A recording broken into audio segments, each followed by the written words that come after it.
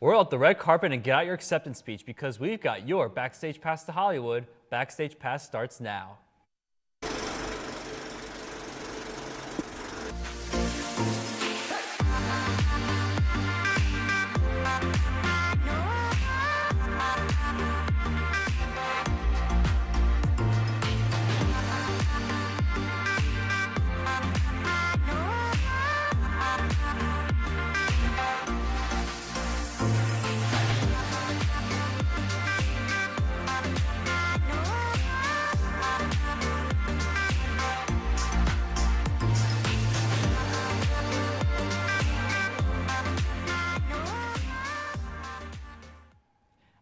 Everyone, welcome to Backstage Pass, where we give you the insider scoop on everything entertainment. I'm Jerry Tripodi. And I'm Sean Kelly. We have a juicy show ahead for you today, but before we delve into the much anticipated gossip, Jerry is going to give us the rundown on top movies in the box office this past weekend.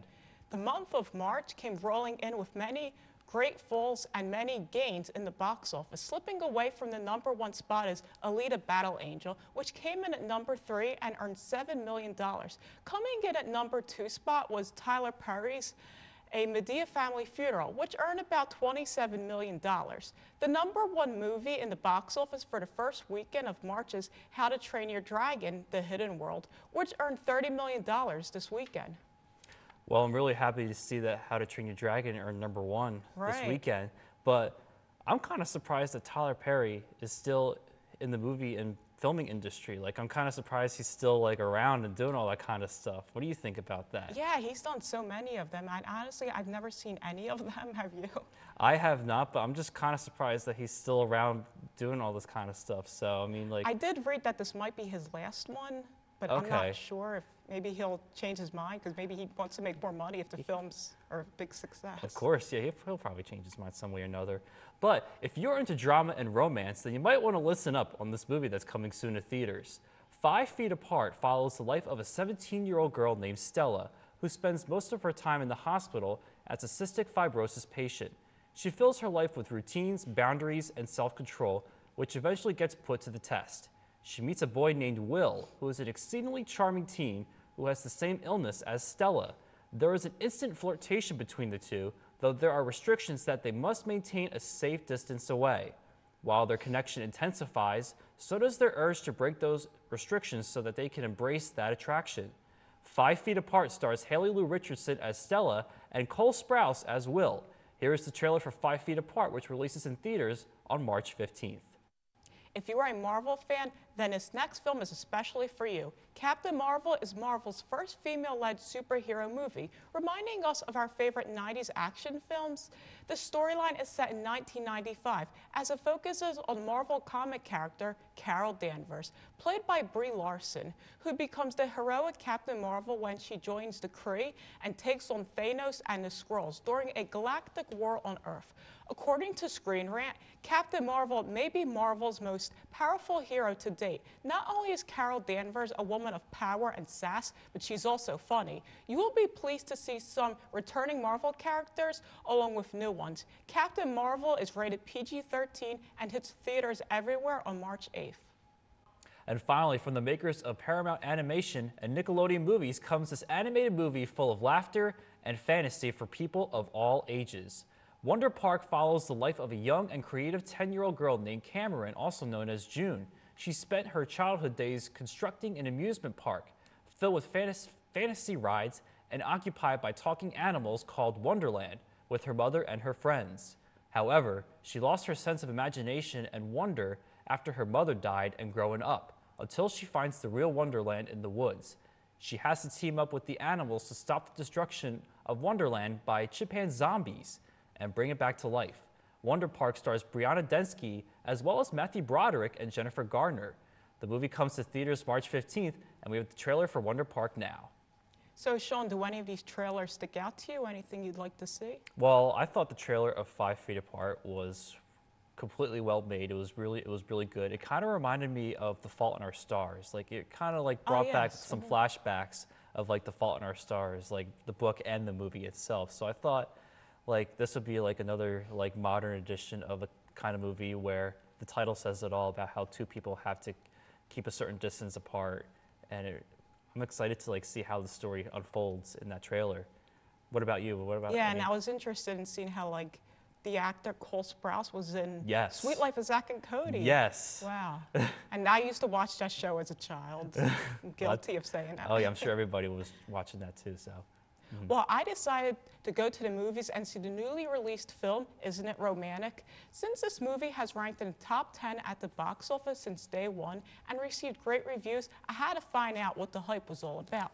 This film stars Rebel Wilson as Natalie, a New York architect who is smart and hardworking but has a negative outlook on life. She doesn't believe true love or happiness exists in a real world, but only in romantic comedies, which she hates. Surprisingly, as a little girl, she used to enjoy watching them and dream that one day she would have a love like that.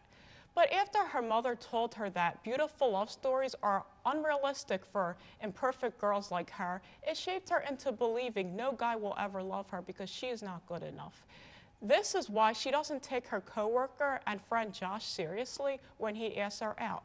On the subway, she finally meets a guy that seems interested, but it turns out he was only interested in her purse and tries to steal it. Putting up a fight, Natalie gets knocked out. From here, she somehow finds herself in a perfect world like the rom com she hates. All of a sudden, she gets a handsome guy and lives rich. Although Natalie has the life she thought she was unworthy of, she's still unhappy. This is where she realizes that no man or rich lifestyle can make you happy if you are not happy with yourself first. In fact, this experience makes Natalie discover that the perfect life was the one she had all along because she worked at the job she loved and had Josh who really cared for her, unlike the rich man who only cared about himself. But I can't spoil whether or not Josh is still waiting for her.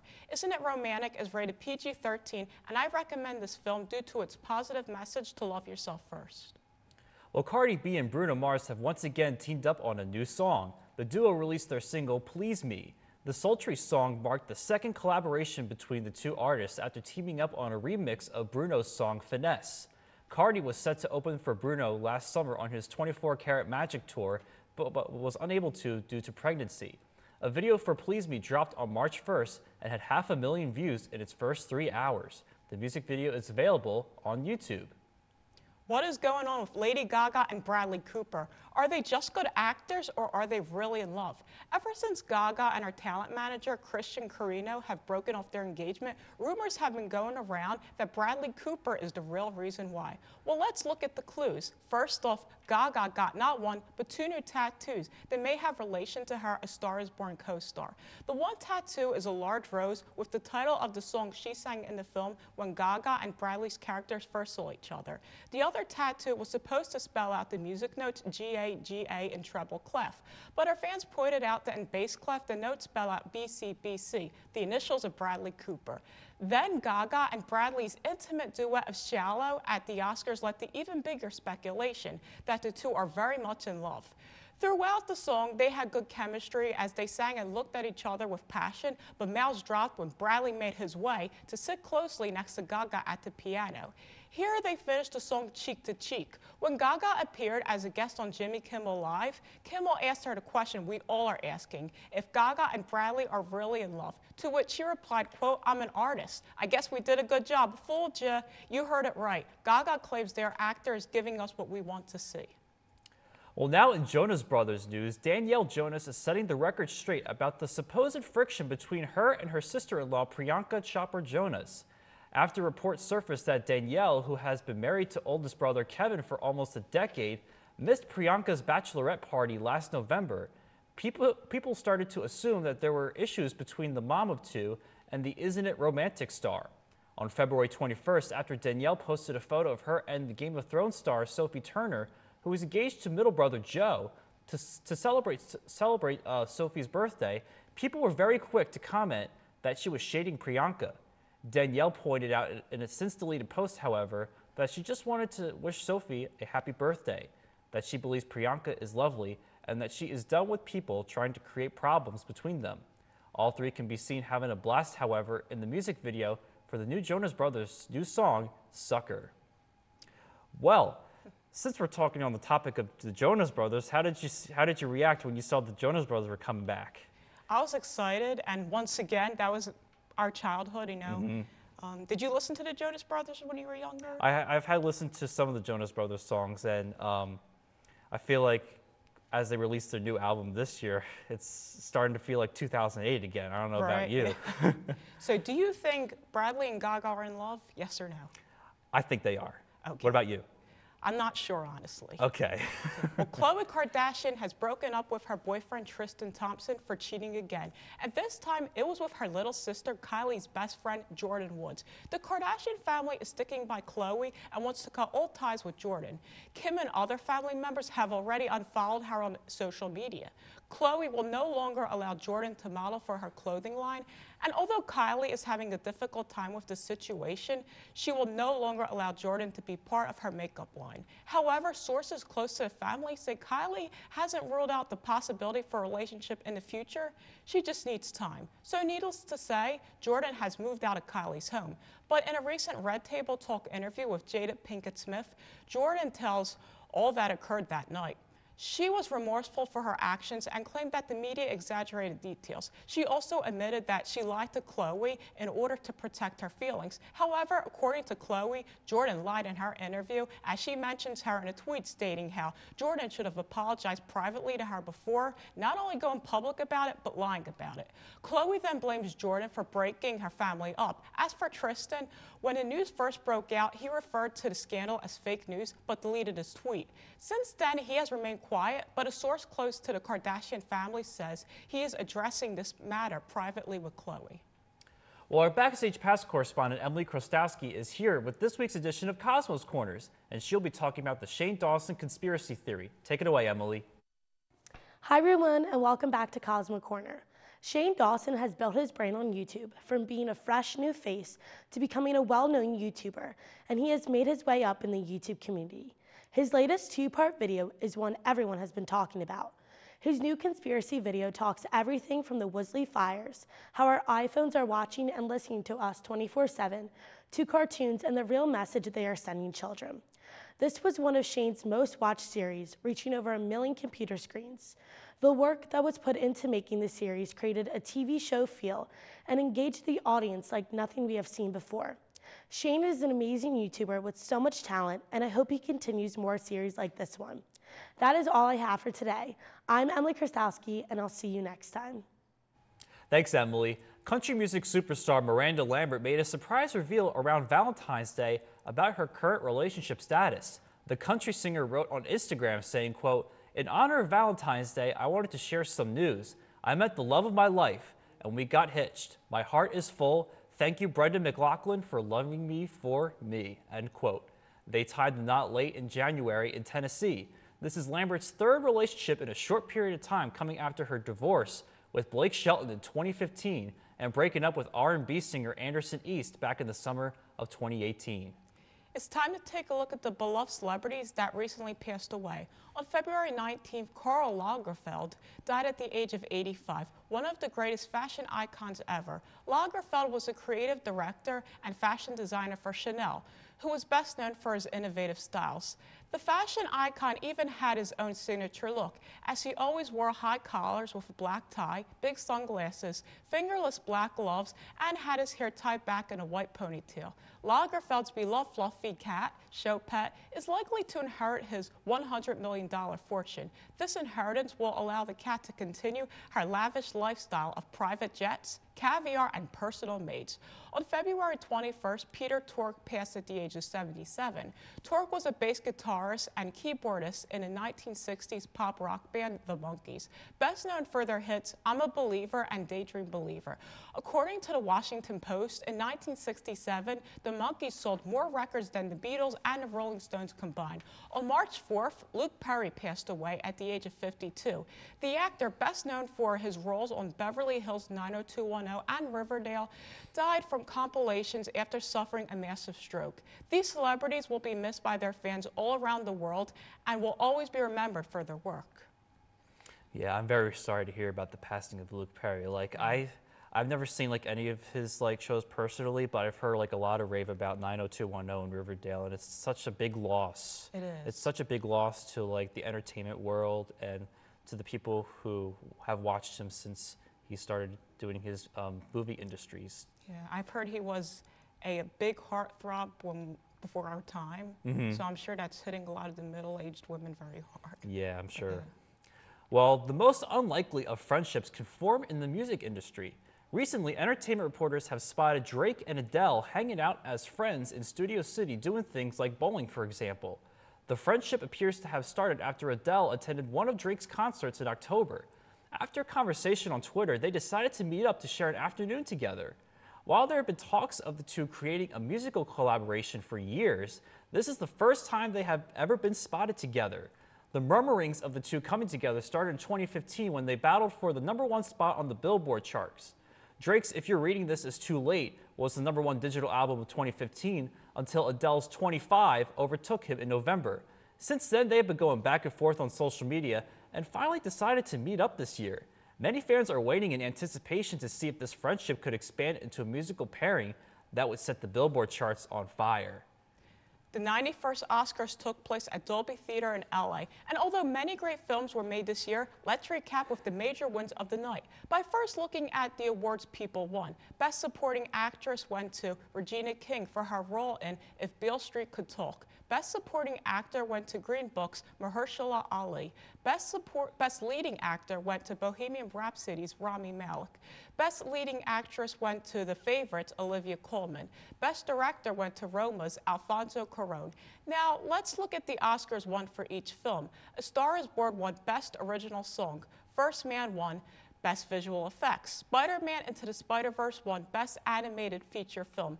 Black Panther took home three awards, which were Best Costume Design, Best Production Design, and Best Original Score. Bohemian Rhapsody took home three awards as well for Best Sound Mixing, Best Sound Editing, and Best Film Editing. Best Cinematography and Best Foreign Language Film both went to Roma. BlacKkKlansman won Best Adapted Screenplay, and lastly, Best Original Screenplay went to Green Book. Well, those are some good movies right there. But continuing our Oscars coverage, Disney dropped another trailer for the big Lion King movie that is set to release in the summer of 2019. They dropped the trailer the night of the Oscars, and it shows new clips that we've seen before. Based off the 1994 animated film, there are clips in the new trailer that were seen from the old trailer, but some new clips were added to the new one. You can find the new trailer on YouTube so you can see it for yourself. If you choose to do so, you might want to grab some tissues because Disney Studios chairman Alan Horn said it is, quote, emotional. Our correspondent Rosemary Rodriguez is here to reveal some news that Taylor Swift fans might want to hear. Take a look. Singer Taylor Swift fans believe that she's releasing a new album soon. Here are some of the crazy reasons why they believe she's releasing an album. Taylor Swift posted on Instagram a picture that includes seven palm trees, and in the comment section, she posted seven palm tree emoji. Fans believe that each palm tree represents one of her albums. Since she has six albums, fans assume that she is releasing a new album soon. Taylor Swift also posted another picture that gave fans a hint. In this picture, Taylor is sitting down on the seventh step, allowing fans to believe that each step represents a Taylor Swift album. Is Taylor Swift just teasing her fans, or is she going to release a new album soon? Stay tuned to your social media accounts to find out. For Backstage Pass, I'm Rosemary Rodriguez. Thanks, Rosemary. The British singer and songwriter Jessie J recently opened up about her struggles with depression and anxiety. In her latest Instagram post, the singer chokes back tears as she plays the piano and sings to her millions of followers, wanting to express herself through music. The singer slash songwriter wanted to send a good mental health example for younger and older generations, saying, In a time and a world, especially the social world, where sadly vulnerability is often seen as weakness, where the younger generation are almost being taught to hide their real feelings behind a perfect, perfected, perfected edited image, the singer went on to encourage, encourage people to speak out about their mental issues, stating how people should reach out to loved ones when they feel down and to not suffer in silence. Jessie suffered a devastating loss last December when her longtime bodyguard passed away and told her fans she would be taking a break due to some unexpected heavy personal stuff. We at Backstage Pass wish the singer well. Well, that does it for this episode of Backstage Pass. We hope you had as much fun watching it as we did producing it. If you have any questions or comments about the show, visit our website, lasalle.edu slash LaSalle TV. On the website, you can find a schedule and more information about the shows themselves.